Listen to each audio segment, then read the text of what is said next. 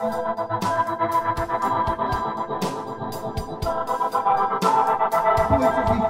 as a competitive vehicle class to the test.